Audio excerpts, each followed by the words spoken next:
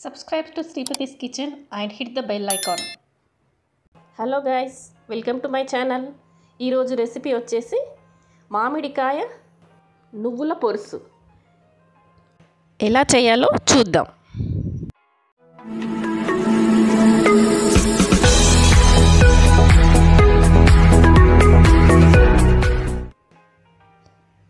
ఈ మామిడికాయ పచ్చడికి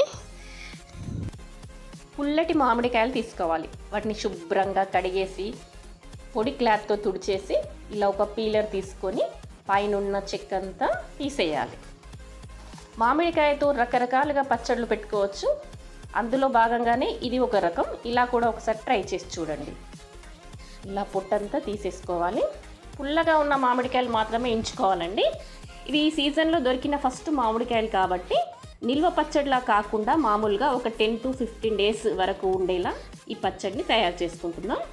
ఇప్పుడు చాక్తో ఇలా సన్నగా ఘాట్లు పెట్టేసి ముక్కల్లా కట్ చేసుకోవాలి. జీడి ఏమాత్రం తగలకుండా సైడ్స్ నుండి కట్ చేసుకోవాలి.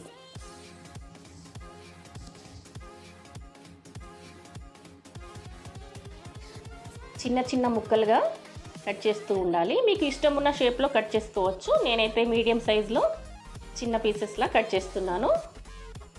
ఈ మామిడికాయలు చాలా పుల్లగా ఉన్నాయండి. వీటితో పచ్చడి చాలా టేస్ట్గా ఉంటుంది. వేడి వేడి అన్నంలో రెండు ముద్దలు ఈ మామిడికాయ బొరుసు వేసుకొని తిని చూసారంటే చాలా టేస్టీగా ఉంటుంది. మీరు కూడా తప్పకుండా ట్రై చేయండి. ఇలా చాక్తో సన్నగా కట్ చేసుకోవాలి.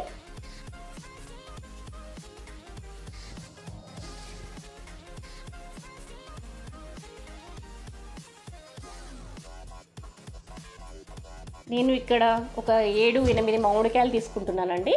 వీటన్నిటిని ముక్కలుగా కట్ చేస్తే వెయిట్ చూస్తే ఒక కేజీ వరకు వెయిట్ వచ్చింది. అంటే మామిడికాయ ముక్కలు కరెక్ట్గా ఒక కేజీ బరువు అన్నమాట. ఈ అందాలకు ఈ వెయిట్కి సంబంధించిన మెజర్మెంట్స్ పచ్చడి చెప్తాను. మీరు కూడా తప్పకుండా పాటించండి ఈ టిప్స్. చూసారా? ఇలా ముక్కలుగా కట్ చేసుకొని పెట్టుకోవాలి. అన్నీ ఇలా సన్నగా తరిగేసుకోవాలి. ఇప్పుడు ఒక పెద్ద పాత్ర లాంటిది తీసుకొని కట్ చేసి పెట్టుకున్న ఈ మామిడికాయ ముక్కల్ని అందులో వేసుకోవాలి. మెంతి పొడి ఒక ఇరవై ఐదు గ్రాములు తీసుకుంటున్నాను. ఇరవై ఐదు గ్రాముల మెంతులు వేయించకుండా ఓన్లీ పచ్చి మెంతులు మాత్రమే పొడి చేసుకొని పెట్టుకోవాలి. అది ఇందులో కొద్దిగా వేస్తున్నాను. తర్వాత ఆవాలు. ఆవాలు కూడా వేయించకుండా ఒక ఫిఫ్టీ గ్రామ్ తీసుకుంటున్నాను. ఆవాలు ఫిఫ్టీ గ్రామ్స్ మెంతులు ఇరవై ఐదు గ్రాములు. ఇది కూడా కొద్దిగా వేశాను. అలాగే పసుపు వచ్చేసి ఒక రెండు టీ స్పూన్స్ వేస్తున్నాను.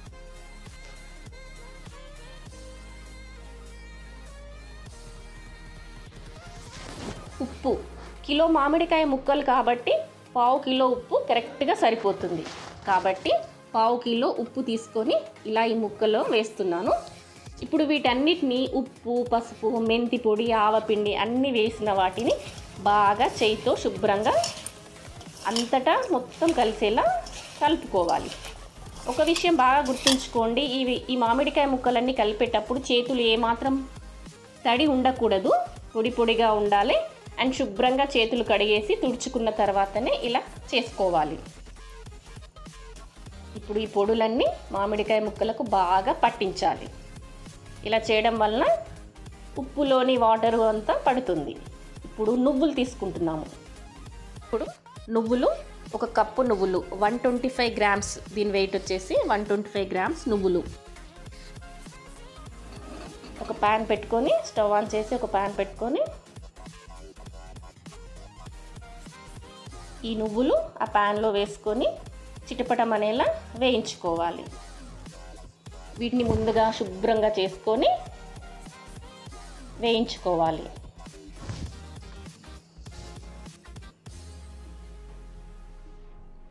ఇప్పుడు ఆ నువ్వుల్ని కాస్త దూరగా వేయించుకోవాలి. చిటపటం అనడం మానేసాక తగ్గిపోయాక ఒక ప్లేట్ తీసుకొని ఈ వేగిన నువ్వులని అందులో వేసుకొని చల్లార్చుకోవాలి. చల్లారిన తర్వాత మిక్సీ జార్లో వేసుకొని మెత్తగా పొడి చేసుకోవాలి.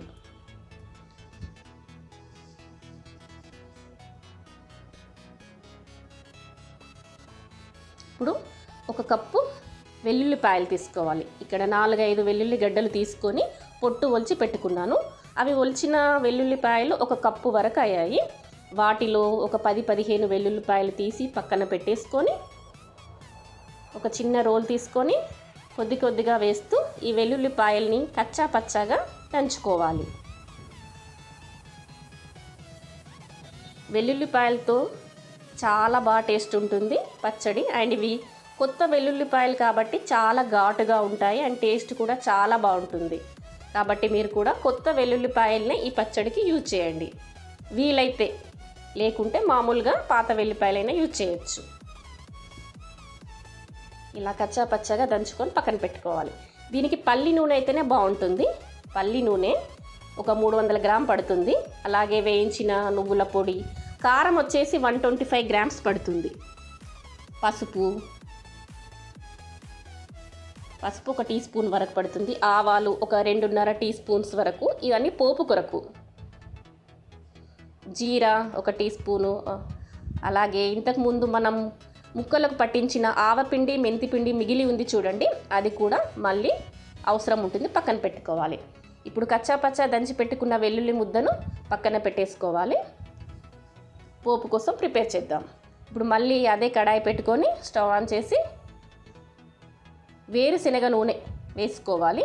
పచ్చళ్ళకు మాత్రము ఎప్పుడైనా డి పచ్చళ్ళకు సన్ఫ్లవర్ ఆయిల్ బాగుండదండి. పల్లి నూనె నువ్వుల నూనె ఇదే బాగుంటుంది. ఆల్రెడీ నువ్వులు వేస్తున్నాం కాబట్టి ఇప్పుడు పల్లి నూనె వాడుతున్నాం. నూనె కాగాక జీరా వేద్దాం. జీరా ఒక one and half teaspoon వరకు వేసుకోవచ్చు. అలాగే ఆవాలు ఆవాలు ఒక రెండు టీ స్పూన్స్ వరకు వేసుకోవచ్చు. మీ టేస్ట్కి తగ్గట్టు కాస్త ఎక్కువ తక్కువ ఉన్నా పర్లేదు. ఆవాలు బాగుంటే చాలా బాగుంటుంది పచ్చడి. అవి కాస్త చిటపటమంటుంటాయి. ఒక్కసారి గరిటెతో ఇలా కలిపేసుకొని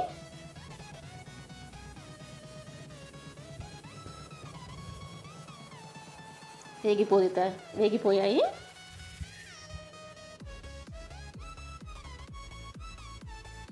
ఆవాలు చిటపటమని మంచి వాసన వస్తుంటాయి.